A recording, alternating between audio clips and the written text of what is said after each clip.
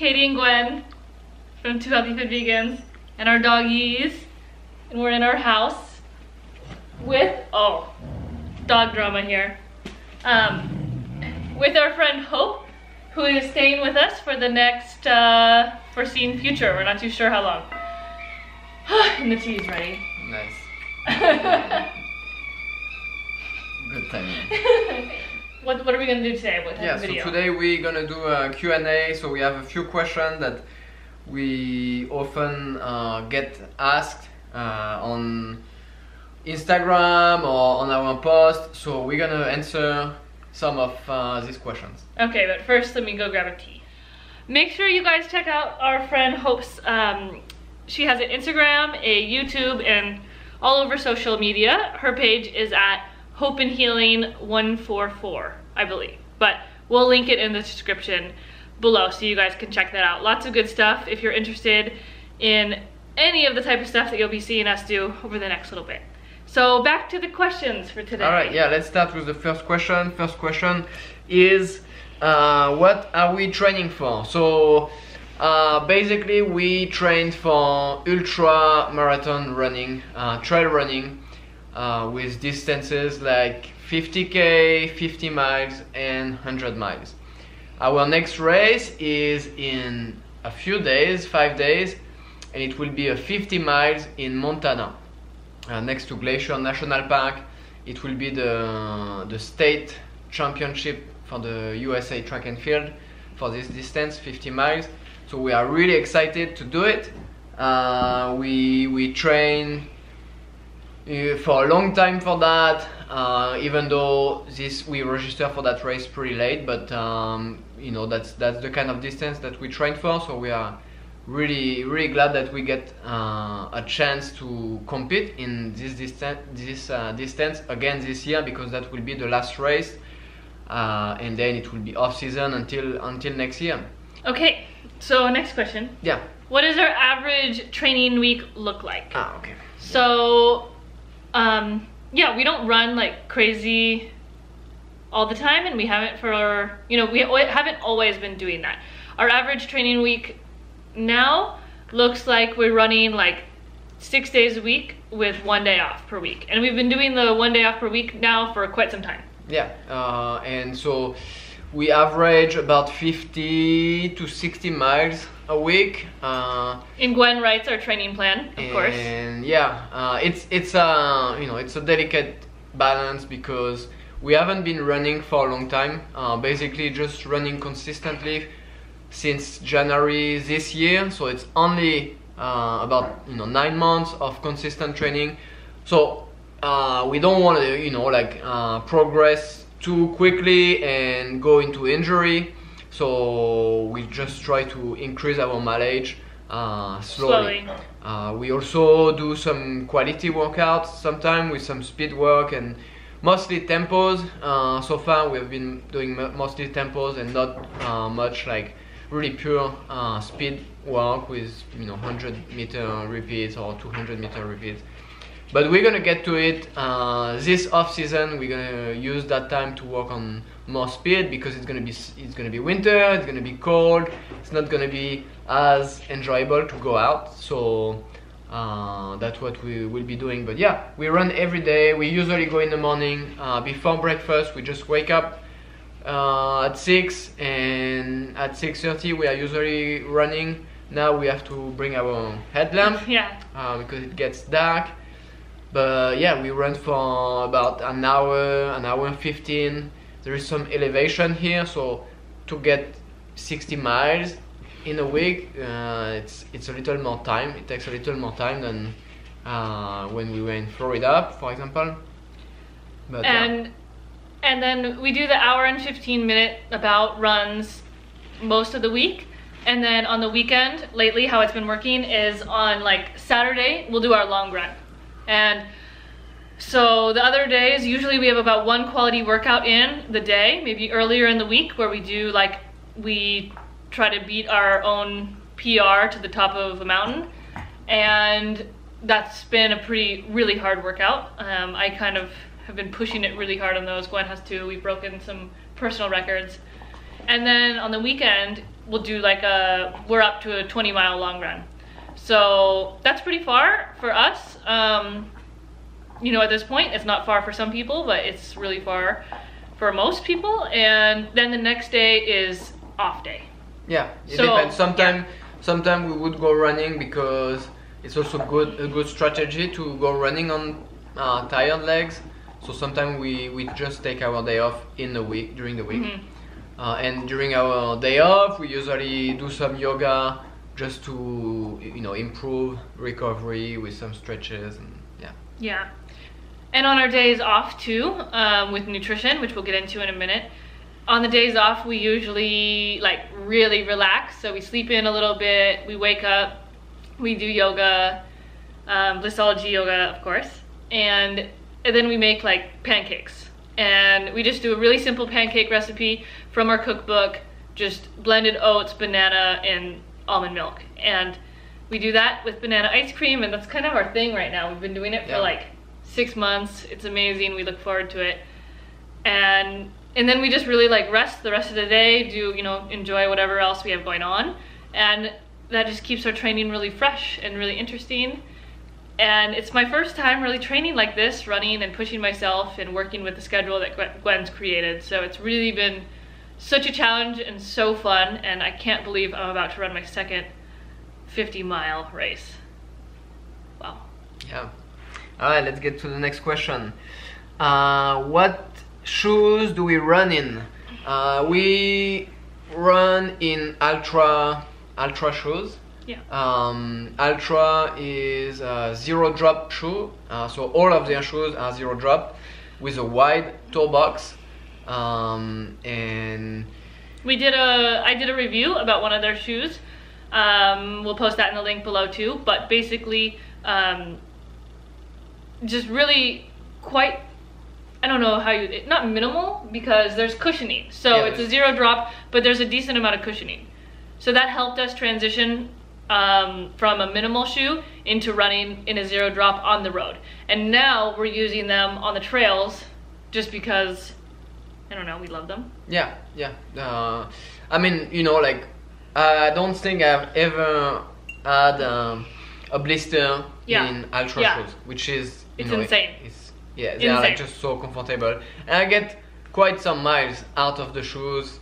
I use them until the very end, and uh, yeah, I run like the last lone peak that I was running in. Uh, I used them for over 800 miles, so uh, yeah, quite some time. okay, so another question we get a lot is Are we still running in minimalist barefoot shoes? So clearly we answered that one. No, we're not. Um, not really. Yeah, we, are not. We, we, we do sometimes. Yeah. Uh, but I think like the minimal shoes is good as a tool to uh, to improve running form. Uh, it is not a tool to perform at the best. You know, like uh, wearing that this kind of shoes because you know like just uh, just look at the the top uh, performance in trail running nobody is wearing you know five fingers uh, barefoot shoes You know, it, it doesn't mean it can't be done. It's just that when you're putting in that many miles Yeah. consistently, it is, and I, you know, I never, a year ago, like I wouldn't have thought I'd be saying this, but it is hard on the legs. And there is a difference with the cushioning. And you can still have a zero drop, really like natural feeling shoe that protects, that provides a little yeah, bit of you need cushioning protection. and protection. I mean, especially if you run on technical trail with a lot of rocks.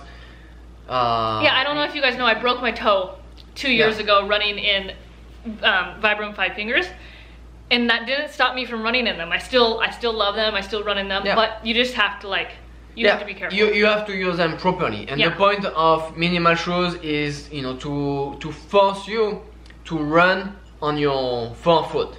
Because if you run on your heel uh, with minimal shoes, it's gonna hurt. You're gonna realize it. You just go barefoot, you run uh, in the street, and you're just naturally gonna go fore, forefoot because it's gonna hurt. And that's the point of the minimal shoes. Then once you use it properly in your training to change your running form and improve your, your running form, then you can keep this form and use other shoes that will also protect your feet when you go on longer miles on technical trails. Uh, so you just need to use uh, you know minimalist shoes in, in the right way, and they are great for that. But they they just need to be used in, at the right time. Yeah, and now that we run like that um, with that running form, we run like that all the time, and it's second nature. We don't even think about it. We just land, and we don't heel strike anymore.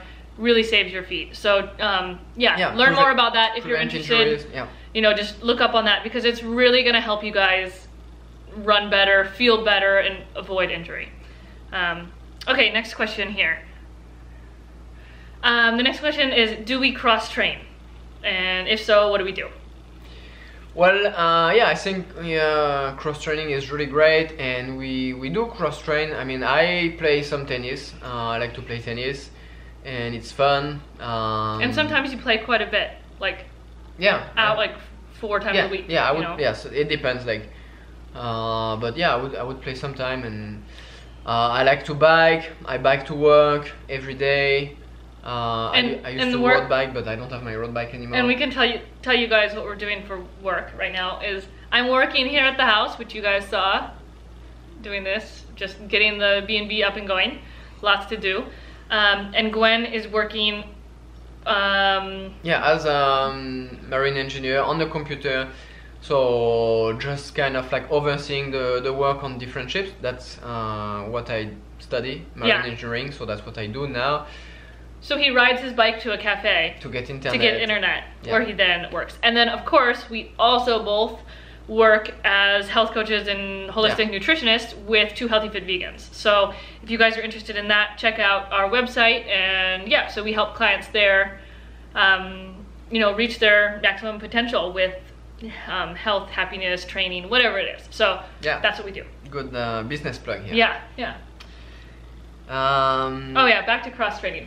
And yeah, we do we do yoga, so that's cross training. Yeah. And when I started doing yoga, I didn't think that I could develop like I've always been very thin, but I have gotten stronger, a lot stronger since since practicing yoga. And there was even a period of my life when back in high school when I was weight training and I actually wasn't like getting noticeably stronger. And now that I've been doing yoga, I actually have been getting a lot noticeably stronger. So it's worked really well for me. Um, just develop versatile overall strength. And then other than that, we don't really do a whole lot. We, we hike um, right now. We bike, yeah, I bike too sometimes. Yeah. But I mean, no, we don't really just, we don't go to the gym and like pump out weights. No. Another question we get a lot is with the amount of training that we do, people ask like, how do we have to change and adapt our diet? Does our nutrition change? How can we eat so much? Lots of people say that, you know, we can't eat like you guys because we don't run as much as you. Um, what do you think about this? I mean, yes, our nutrition changes because we have to eat more. Yeah. So I mean, uh, we I, I definitely do uh, eat less salads and less uh, you know fresh uh, food or like I mean raw food and I include a lot more beans and a lot more rice. Uh, more calorie-rich foods yeah, from the plant kingdom, which are Uh, kind of hard to come yeah. by. and, And- which is uh, you know it's still it's still really good but i don't know if i would be able to get enough energy from just raw food i mean it would just take a lot of time eating a lot of time preparing and i'm kind of like lazy lazy with cooking and when i come back from work i like to just go in the fridge get beans and rice make a burrito or something and it takes me like five minutes and um, that's what i like i don't like to spend 30 minutes when i'm already starving and so Yeah, so beans and rice are Yeah, a big staple. yeah. Potatoes, huge staple. We don't eat a whole lot of pasta. We still eat lots of salads and fruit in the morning. Smoothies, bananas, smoothie in the morning lots so- of frozen fruit, organic, everything when possible. But our, you know, our macros of our diet don't change. We don't eat no, like we don't eat more fat. We don't eat more protein because we're working out more. Yeah, we just- still eat like a whole food, high carbohydrate, low more fat. but of of a, same you know, stuff. of the same same food and Yeah. and that's kind of like the key is like whatever you are doing you don't want to you know like play with macronutrients like should i add more of this like basically if you need you know more of something you need more of everything so Mhm. uh, that's kind of like the it's, it's just an easy way to, to see that and, and I think it's uh, it's easier to to, to deal uh, with it like that. Another question we get a lot is our what do we like to eat while we're running? Because clearly when you're out running a 50 mile race like we have this Saturday, you're gonna need to eat during the race. So race nutrition and running nutrition is different with everyone and it's really hard to say that what works for me works for you. And that's a perfect example because Gwen can eat anything. he has like an iron stomach and he can eat anything. And I can't. My stomach is really, really touchy. During the last 50 mile race, I was in horrible stomach cramps, like 40 of those 50 miles. So now what I stick to is just really simple stuff. I can eat bananas while running. I can eat some dried fruit like dates and energy gels. So we make our own energy gels. That's my favorite thing, but we don't always have the time or the containers to do that. So for this 50 mile race coming up, we're gonna just use, what do we have, a bunch of Hammer Nutrition? Yeah, Hammer Nutrition, Hammer Nutrition uh, gels. energy gels. Sometimes we use V Fuel. They are good too. Clif, Clif. Uh, Clif gels are a little too thick and they are hard to eat while running. Yeah. Uh, they just clog your mouth because they are too thick. So that's why the, the V Fuel and the Hammer Nutrition are really good. But you Uh, guys should try them out. Yeah, try you them out. like, try them and, um, and you you can think. find the Clif ones at most places and just see how you like them. See how they taste while running and if you can dissolve them. The Clif Energy Bloks are another solution, but that's again like when you're running a high intensity race, like a 50 or like our 50k, which is a 30 mile. Usually when your intensity is pretty high, it's actually you're breathing so hard, it's really hard to chew and get stuff down. So the more liquid, the better. Um, for longer inden- longer durations, like lower intensity races, maybe you know we're able during a hundred mile race, for example, people eat anything. They're eating pizza, they're eating burritos. Yeah, of course, You know, because you know you spend like you spend some time like for some people 30 hours out there, and you don't gonna eat only gels for 30 hours. So, uh, i- i- yeah, it's all all about how long you're gonna spend on a on a yeah. running and Yep. yeah. Um, okay, last question is what is our favorite like pre-race, uh, maybe the night before meal? So I don't know. What is yours? Well, uh, for me, the the the breakfast before because most of the race start in the morning. Uh, so the last meal before the race, I like it to be a smoothie with bananas and espresso. Uh, and It's so good. It's it's so good, and you put some dates in it to make it uh, sweet, and it's uh, it's it's simple. I like to make it simple. I don't like to add a lot of different fruits and it would be nice to add maybe some ginger and turmeric but in the same time it doesn't taste the greatest to me so Oh, and a uh, tip there. Another reason why we don't add the ginger and turmeric the of the morning of the race is we always make our smoothies the night before because Yeah. usually during race day we're waking up at like three or four a.m. and we want to just grab our stuff and get in the car and go to the go to the race. So we make everything ahead of time. And when you make a smoothie with ginger and turmeric the night before, it tends to make the smoothie taste really bad. Oh, like hours just just really intense so Yeah, if yeah. you do that you would have to re- You have to be ready for that. you have to use a lot less Yeah. than what you used to if you if you are going to let it sit for like 12 hours Yeah. or something So that's what I mean, and that's what I have usually too before the race. Um, I my stomach's I don't know, just depends how much time I can eat before the race. The night before, our favorite meal is usually like potatoes, like fries, um, in a salad, or yeah oil, beans oil, and rice and a oil burrito. free oil, oil free fries. Yeah, oil free fries.